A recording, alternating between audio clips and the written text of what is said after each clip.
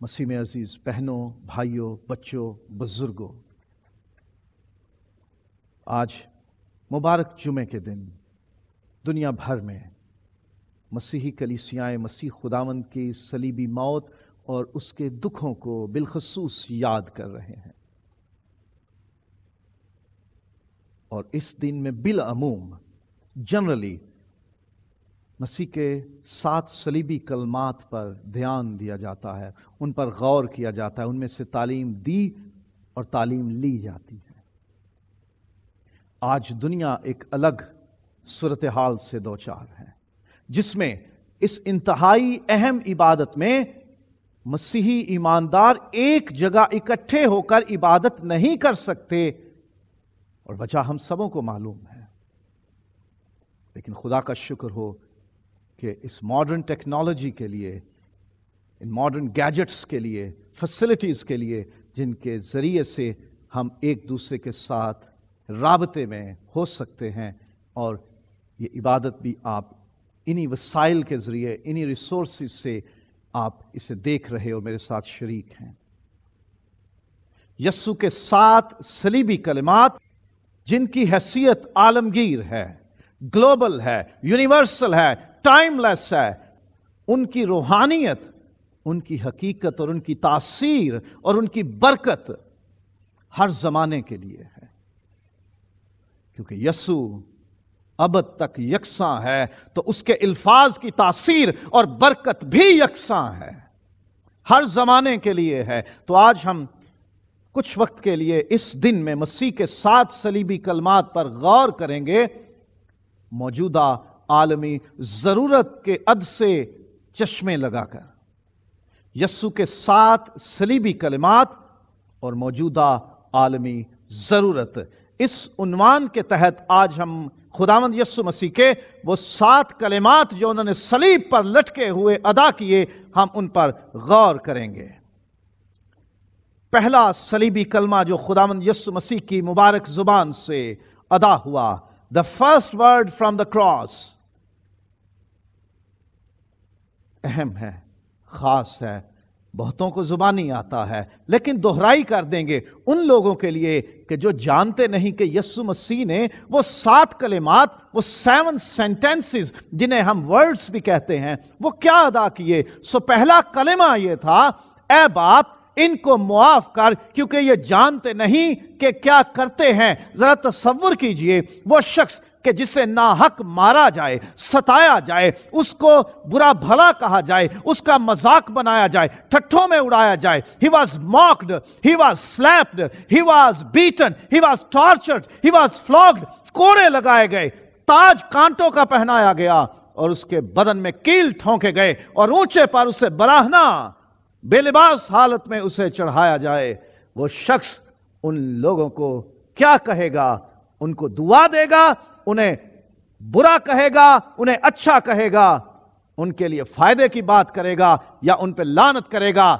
انسانوں کی یہ فطرت ہے کہ ہم دکھ اور تکلیف دینے والے کو کبھی دعا نہیں، بد دعا دیتے ہیں۔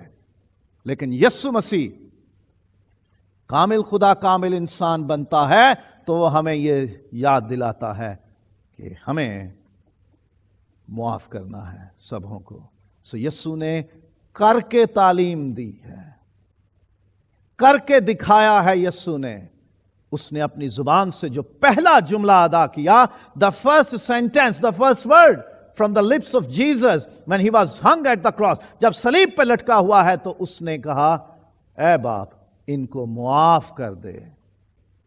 کیونکہ یہ جانتے نہیں ہیں کہ کیا کرتے ہیں۔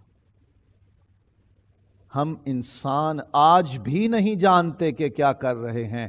ہم سمجھتے نہیں کسی بات کو۔ ہم اپنے لیے حالات کو برا بناتے جا رہے ہیں۔ اپنے لیے مصیبتیں اور تکلیفیں اور دکھ خود خریدتے، مول لیتے جا رہے ہیں۔ اپنے لیے وہ ٹریپ ہم خود تیار کر رہے ہیں۔ وہ پھندے کے جس میں ہم پھنسے، ہم آج بھی نہیں جانتے۔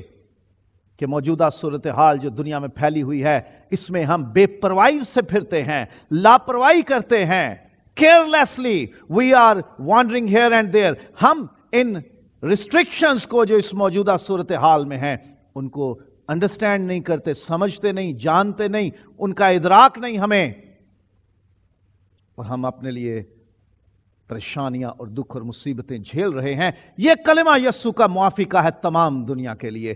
باپ سے شفات کرتا ہے انہیں معاف کر۔ آج کی دنیا کو، آج اس پینڈیمک سچویشن میں، اس وبا کی سچویشن میں خداوند یسو کے کلمے سے یہ تسلی ملتی ہے کہ وہ باپ کے پاس آج بھی ہماری شفات کے لیے، ہمارے لیے سفارش کرنے کے لیے، for intercession he is right there at the right hand of God Yesu Masih ہماری شفات کے لیے ہے، ہمیں گھبرانے کی ضرورت نہیں ہے۔ یہ کلمہ ہمیں تسلی دیتا ہے کہ یسو اپنے دکھوں کی انتہا اور عروج میں بھی انسانوں کے لیے شفات کرتا ہے۔ وہ ان کے لیے لانت نہیں مانگتا، وہ ان کے لیے سزا نہیں مانگتا۔ جیسا ابھی کچھ دیر پہلے میں نے یوہنا کی انجیل میں سے تیسرے باب میں سے کچھ آیات پڑھی، جن میں لکھا ہے کہ خدا نے بیٹے کو اس لیے نہیں بھیجا کہ انسانوں پر سزا کا حکم کرے، بلکہ اس لیے آیا تاکہ وہ زندگی پا جائیں۔ خداوند یسو کا یہ کلمہ پہلا ہمیں یہ تسلی دیتا ہے کہ خداوند یسو ہماری طرف ہے۔ خداوند یسو ہمارے ساتھ کھڑا ہے۔ خداوند یسو ہمارے لیے باپ سے منت کرتا ہے۔ خداوند یسو باپ سے ہمارے لیے سفارش کرتا ہے۔ He is interceding for us this word gives us comfort that Jesus is right there at the right hand of God the father to intercede for us this is a comfort یہ ہمارے لیے تسلی کا کلمہ ہے۔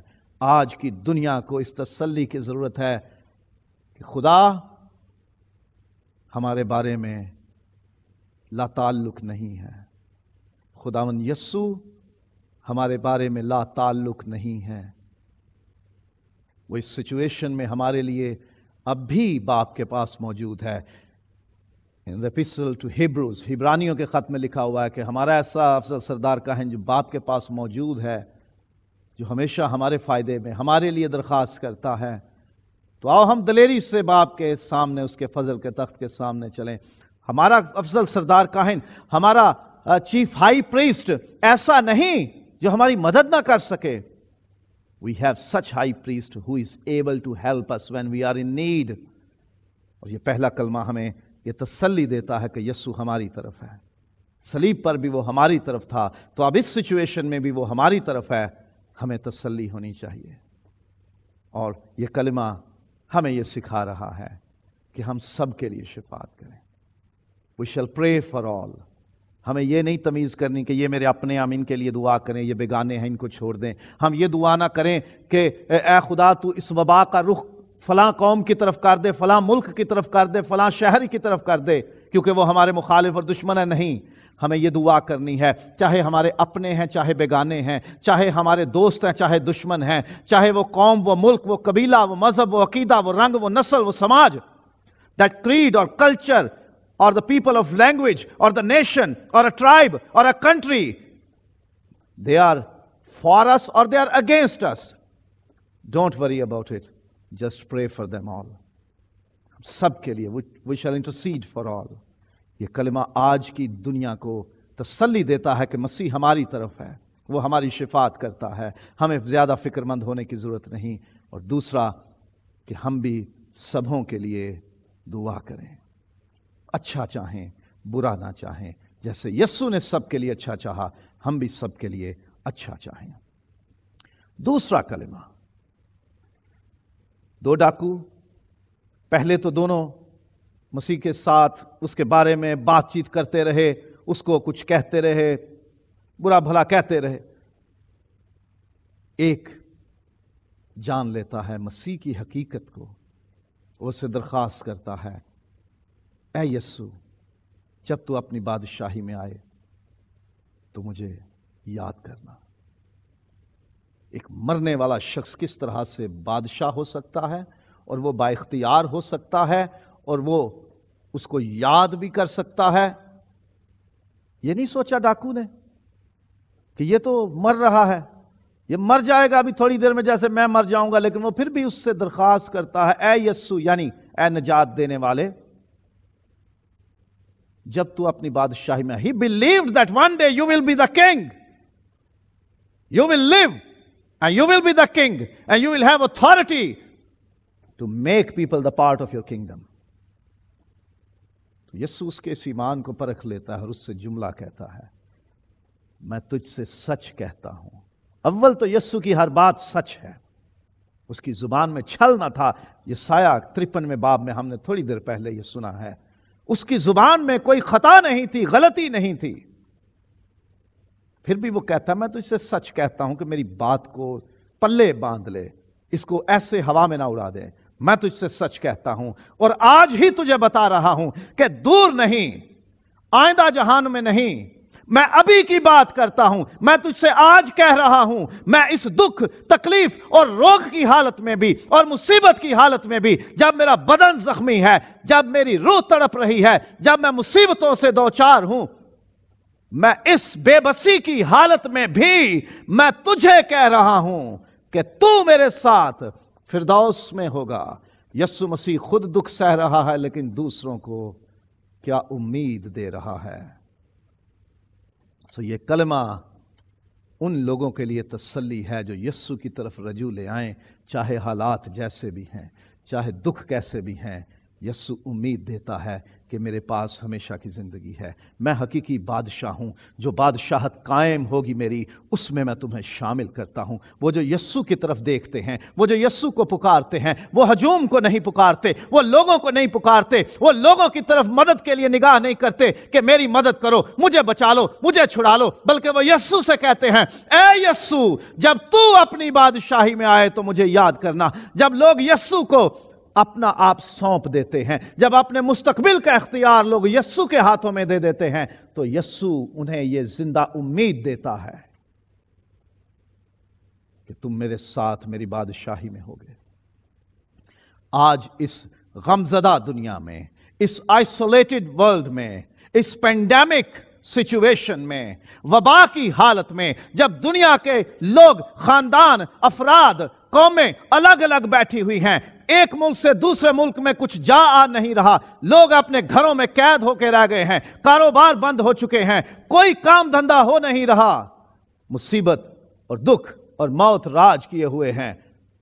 ایسی حالت میں یسو امید دے رہا ہے۔ وہ ڈاکو سلیب پہ تھا۔ اس کی موت قریب تھی۔ وہ ڈاکو بہت دکھ سہ رہا تھا۔ وہ سلیب پہ یسو ہی کی طرح لٹکا ہوا تھا۔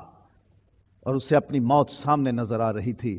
لیکن یسو سے امید دیتا ہے کہ میں تجھ سے سچ کہتا ہوں کہ تو جو مجھ پر ایمان لایا ہے، تو جس نے اپنی امید مجھ سے لگائی ہے، میں تجھے نا امید نہیں چھوڑوں گا، تجھے مایوس نہیں کروں گا۔ میں تجھ سے سچ کہتا ہوں، تو آج ہی میرے ساتھ فردوس میں ہوگا۔ خداون یسو مسیح میں ابدی خوشی ہے، شادمانی ہے اور اچھا مستقبل ہے۔ اس کی بادشاہی میں ہوں گے۔ یہ وبا سے ماری ہوئی دنیا اس پینڈیمک میں الجھی ہوئی دنیا کے لیے یہ کلمہ کیا خوبصورت نوید ہے، خوشخبری ہے کہ یسو کہتا ہے، اے دنیا تو جو موت سے لڑ رہی ہے، تم جو بیماری اور دکھ سے لڑ رہے ہو، میں تمہیں امید دیتا ہوں کہ تمہیں اپنے ساتھ فردوس میں رکھوں گا۔ اور یاد رکھیے، اس بحث میں کیا پڑھنے کی ضرورت؟ فردوس زمین پہ ہے، آسمان پہ ہے، کہاں ہے؟ ایک ہی بات، جہاں یسو ہے وہاں فردوس ہے، جہاں یسو ہے وہاں بادشاہت ہے، جہاں یسو ہے وہاں جنت ہے، جہاں یسو ہے وہاں ہیونس ہے، جہاں یسو ہے وہاں سب کچھ بہترین ہے۔ وہاں مصیبت ہو بھی تو یسو کے ہوتے ہوئے وہ کسی کا کچھ بگاڑ نہیں سکتی۔ سو اس مرتی ہوئی دنیا کو، اس وبا کی ماری دنیا کو یسو کا یہ کلمہ، یہ تسلی دیتا ہے۔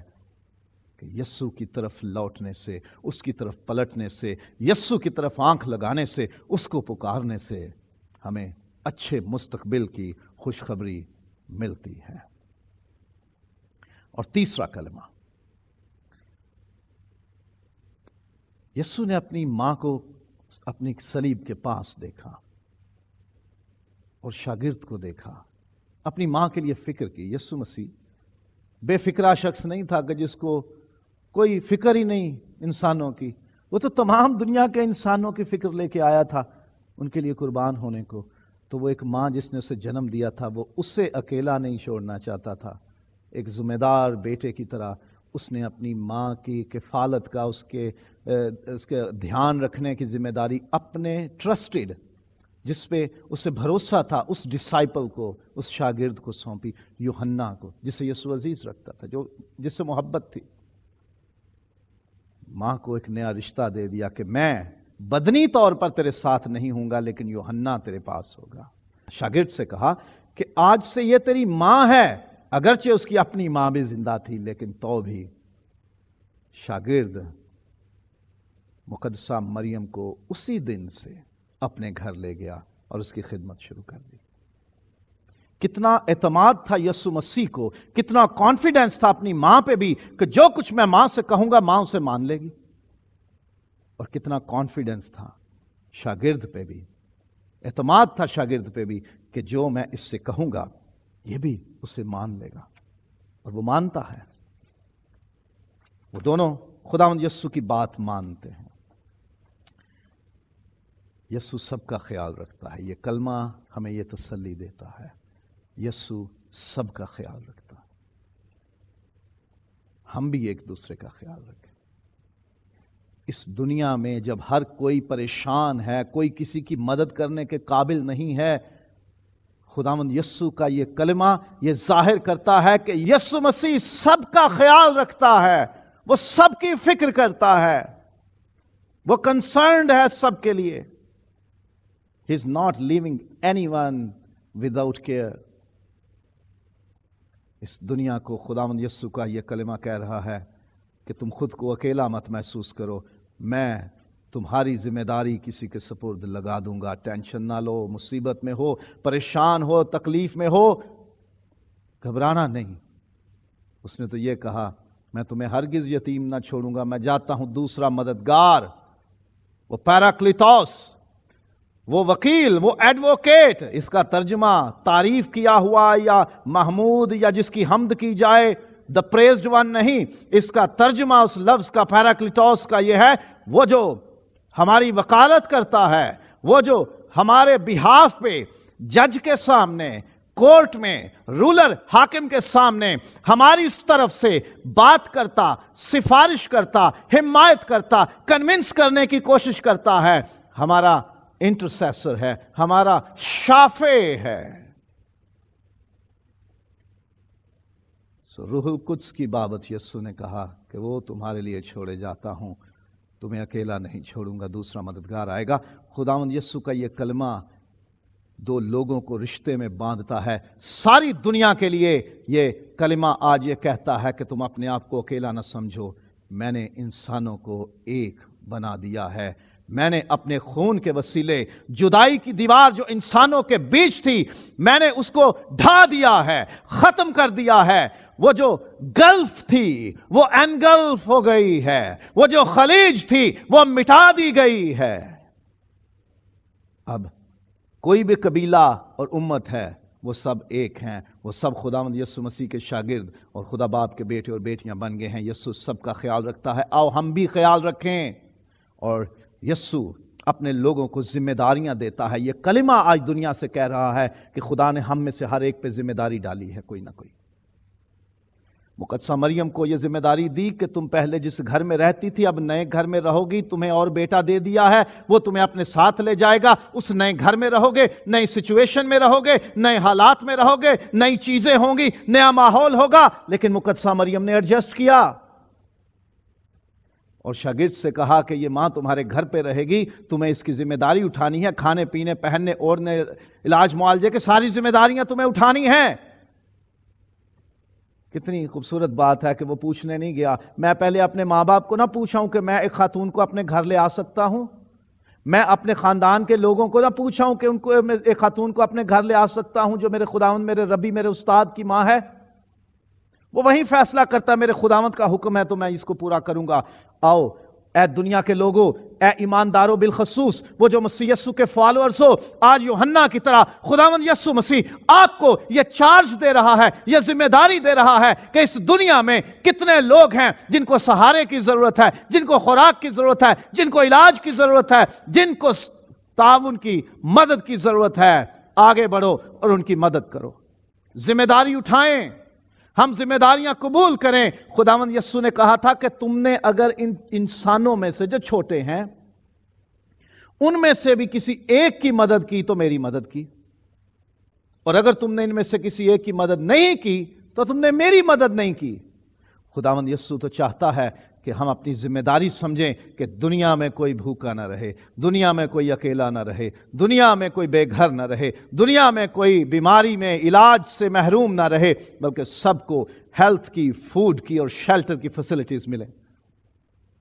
آؤ دا چرچ آف کرائسٹ مسیح کی کلیسیا، اے ایماندارو، اس ذمہ داری کو اٹھاؤ۔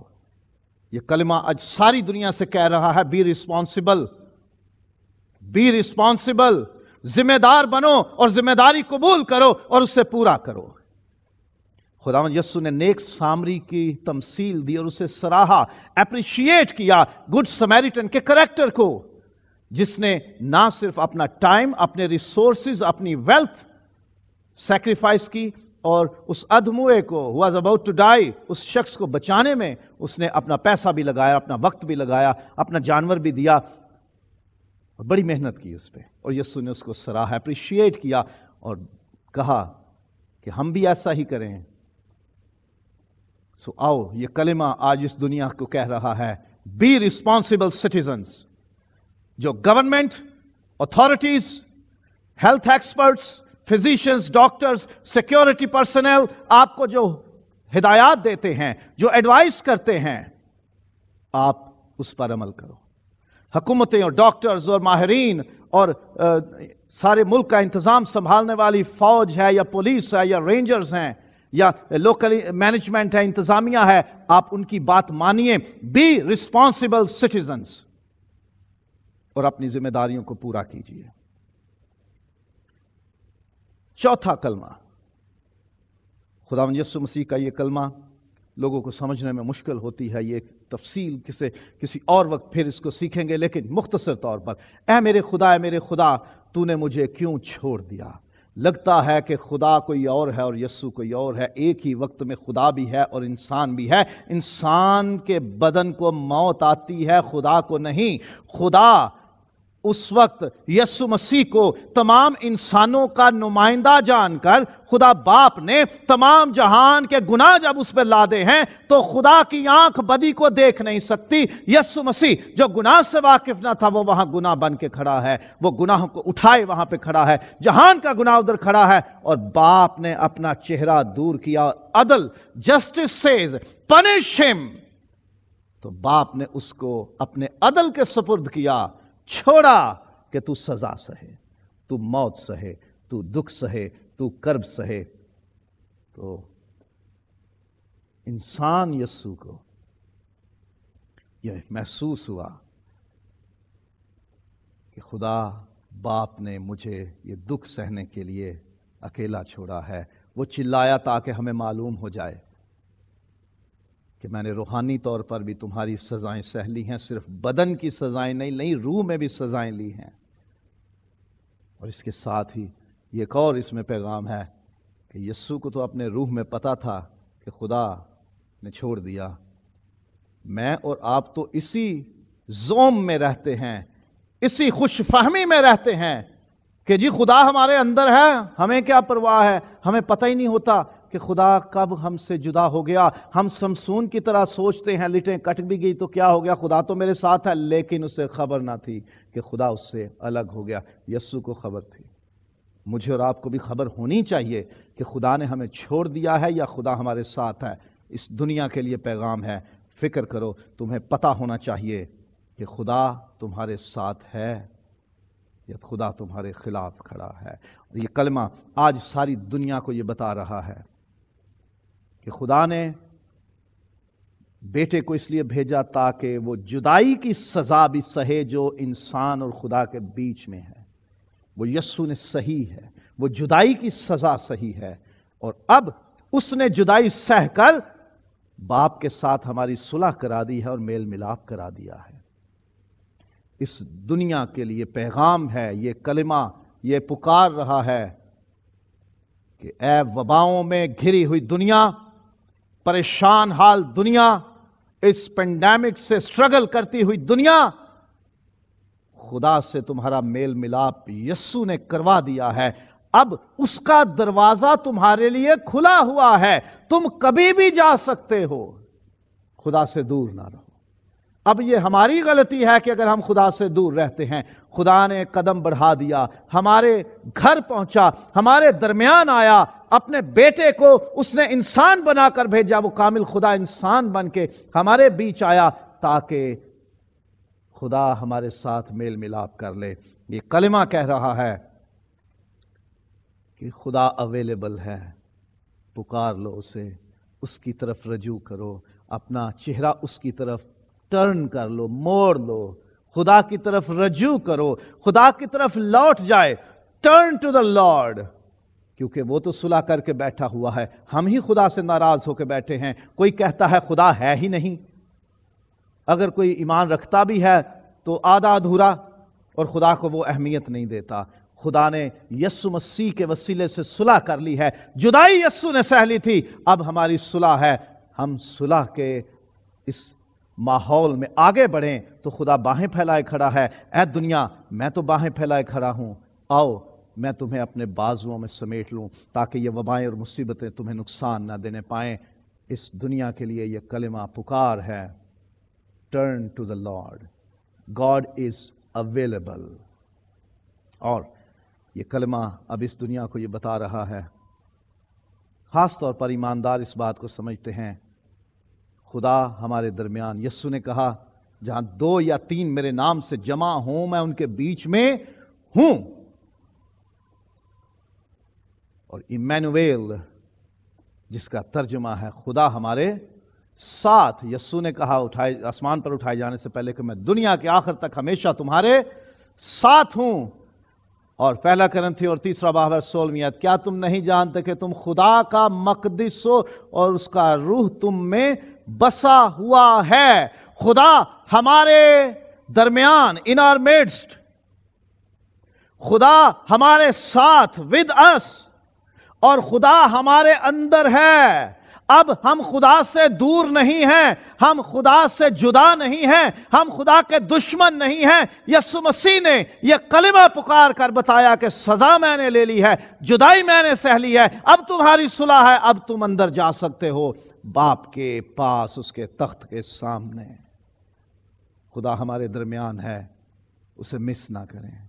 خدا ہمارے ساتھ ہے، ہم اس کے ساتھ کھڑے ہو جائیں اور خدا ہمارے اندر ہے، ہم اسے گریوڈ نہ کریں، اسے رنجیدہ نہ کریں، اسے دکھ نہ دیں۔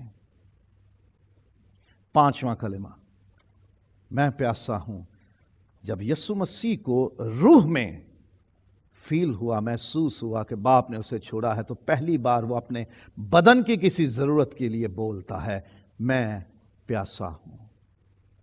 اس کی اور جو تشریحات ہیں، اس کی ایکسپلانیشنز ہیں، جو روحانی اور معنی ہیں، وہ پھر کسی اور وقت۔ لیکن ابھی ایک چیز جو سمجھنے والی ہے کلمہ پکار کے کہہ رہا ہے یسو کو اگر سلیب پہ پیاس لگ گئی تھی، تو ہمیں بھی اس بات کا احساس ہونا چاہیے کہ ہر ایک انسان کو پیٹ لگا ہوا ہے، اس کو بھوک اور پیاس ضرور لگتی ہوگی۔ چاہے وہ خوشحالی میں ہے، چاہے دکھ میں ہے ہر ایک بشر کو، ہر ایک جاندار کو بھوک لگتی ہے، پیاس لگتی ہے، اس کے جسم کی ضرورتیں ہیں۔ تو یہ کلمہ کہہ رہا ہے، ہم ایک دوسرے کی ضرورتوں کا احساس کرتے ہوئے جہاں تک ہو سکے ان کی مدد کریں۔ We shall understand the needs of others and try our best to help them یہ کلمہ کہہ رہا ہے خدامند نے کہا، میں پیاسا ہوں۔ متی کی جھیل میں پچیسویں باب میں لکھا میں پیاسا تھا، تم نے مجھے پانی نہ پلایا۔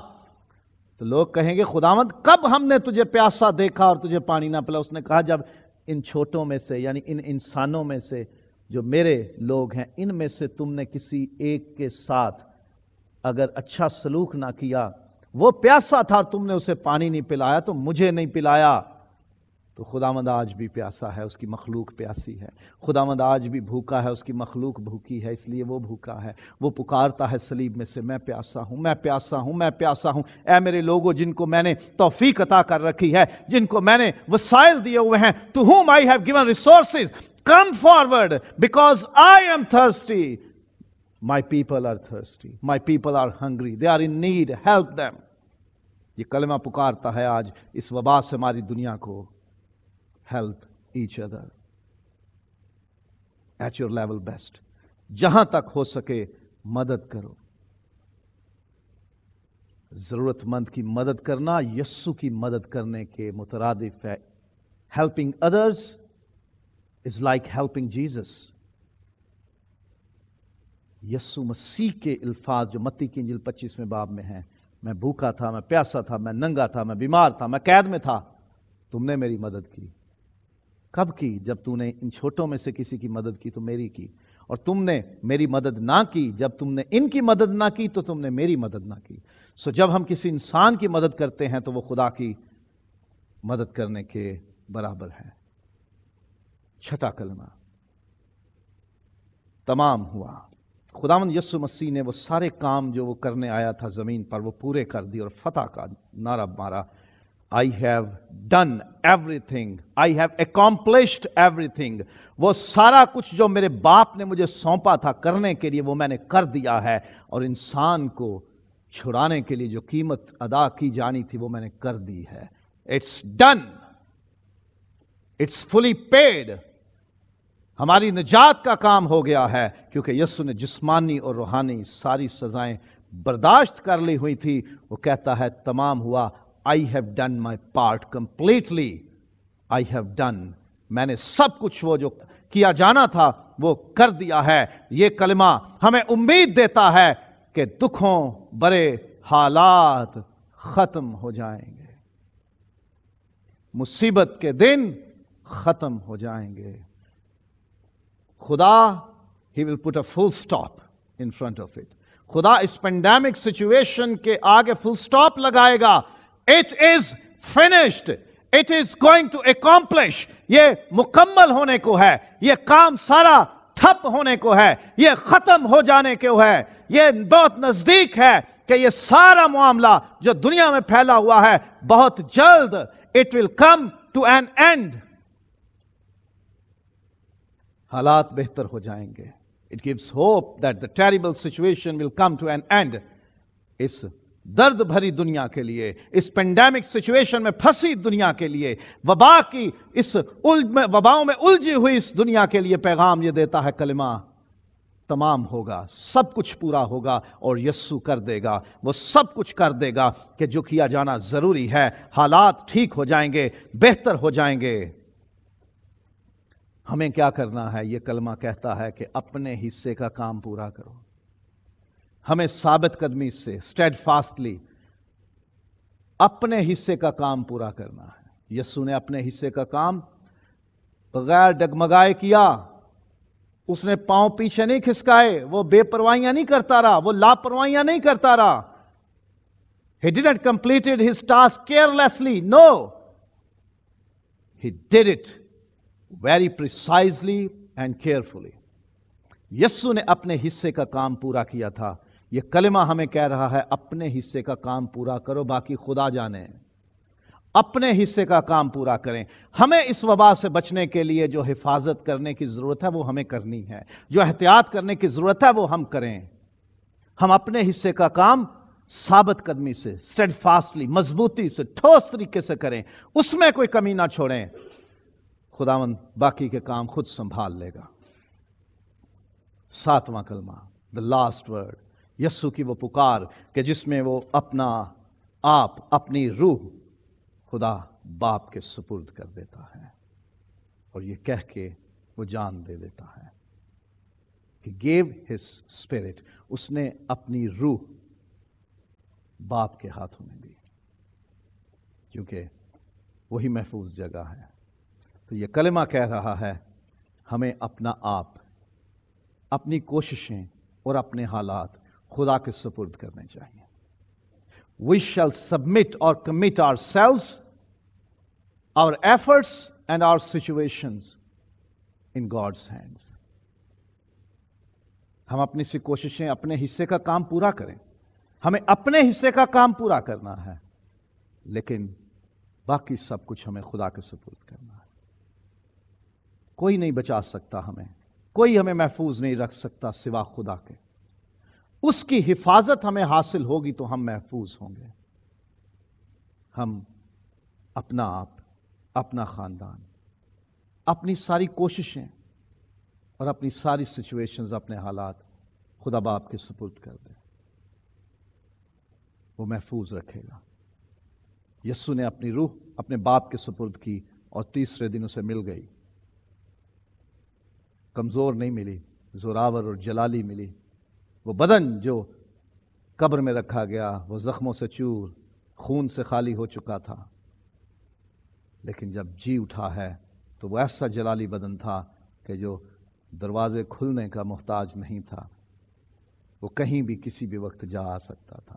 جلالی گلوریس باڈی اس کو ملتی ہے۔ ہم بھی اگر اپنا سب کچھ، اپنا آپ، اپنا خاندان، اپنا کاروبار، اپنی کلیسیا، اپنے حالات، اپنی کوششیں اپنی جابز، اپنا روزگار خدا کے ہاتھوں میں دے دیں گے۔ خدا اسے محفوظ رکھے گا۔ خدا اسے بگاڑے گا نہیں۔ خدا اسے محفوظ رکھے گا۔ خدا یسو نے فرمایا ہے، تم میں سے ایسا کوئی نہیں جس نے میری خاطر کچھ کھویا ہو اور اس جہان میں سو گنا نہ پائے اور آنے والے جہان میں ہمیشہ کی زندگی۔